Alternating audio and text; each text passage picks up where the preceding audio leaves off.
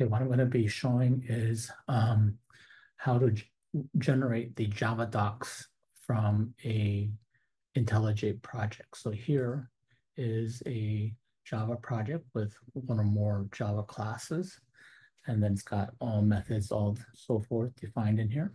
And it actually will compile successfully.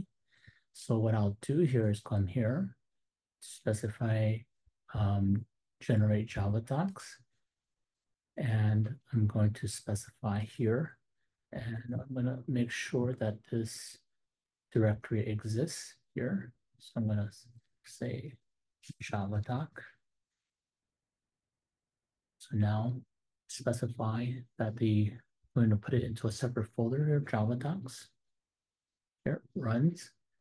And uh, now we can actually, it will launch the browser to show you um, the, the, the view of the Java docs. So if you click on this one, you can see all the different methods in here.